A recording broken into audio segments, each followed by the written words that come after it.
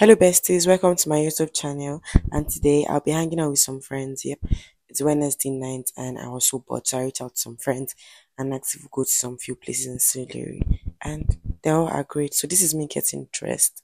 Everything was going so smoothly until I wore this week. I was sweating a lot. My clothes got stained. But anyway, I didn't have much option, so I just had to wear it.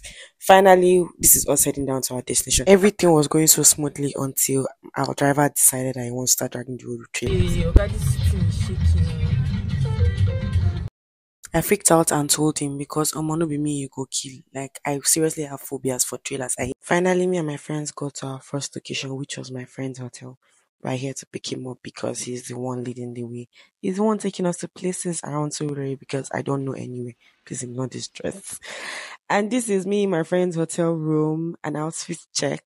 You know, simple, smart, and elegant. Few minutes later, I realized my friend was murmuring in the background, complaining on how he lost his money to bet and gambling. Like, how much I lost in casino? Who sent you?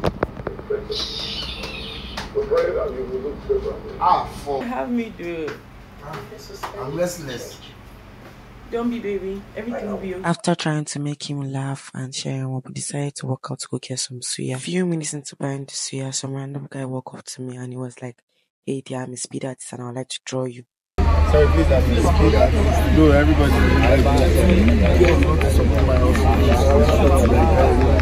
So how do we support you? So he started to tell me how people don't like him, so I felt bad for him and told him that he can draw me. Everything was going so well until he started to throw compliments at me. That made me feel special, kind of. I'm a draw fine woman, I beg, I did get joy. She too fine. I did not let her know as I draw as a kind. No, no, no. No, this is not happening. No, but there's no thing that I, I have to. I'm an artist. If I see waiting fine, I know. he fine die. Let him finish. After the whole set and done, this is what we ended up with. Now I see why people don't like him because what the fuck is this? Guys, is this me? What the fuck? You fuck up. So they give the guy 1,500. It was getting late, so my friends and I decided to just head down to the final destination, which was this club. Like, I've never been here before there was a lot of crowd, a lot of people, and I was wondering, it's a Wednesday night, so why is there a lot of people? So me and my friend decided to walk into the club and check out what's going on. Say hello to my friend Sarah. Few minutes into stepping into the club, we realized that there was a birthday party. That was why there was. The whole place was so choked up, so we had to stand. And this is me checking myself out, fine girl. So we just went sit at the bar side. We tried to get some tequila. And this is my first shot for the night. Four shots for the night. I'm getting in the mood. And you know when you see girls dancing like that, you go no say the bed do enter body like the great music, kudos to DJ.